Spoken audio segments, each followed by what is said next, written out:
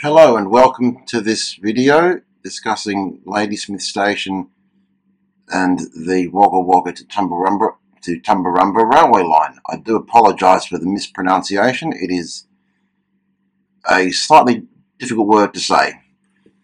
My name is Ben Summers and I'm from Morris Hillman Productions. Um, and I thought I and I was in I was in Junee a few days ago and I thought I'd make a video about Ladysmith Station.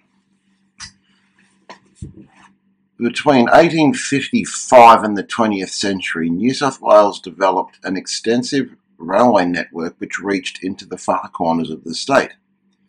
Much of this occurred under Chief Engineer John Whitton, an Englishman whose vision and drive were to lay the foundations of the system.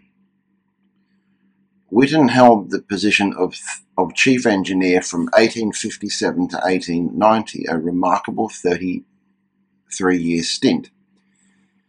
Under his watch, the system underwent a major growth spurt, connecting many towns and cities. One of the former was Ladysmith, located on the branch line from Wagga Wagga to Tumbarumba in southern New South Wales. Running 80 miles, 129 kilometres in length, the line was first proposed back in 1881 during Whitton's tenure though it wasn't until 1917 that construction actually commenced. This work would be completed in stages until final completion of the, of the route in 1921. In 1974, the route fell victim to severe flooding and washaways, leading ultimately to the withdrawal of passenger services that year, with the route essentially closing in 1987.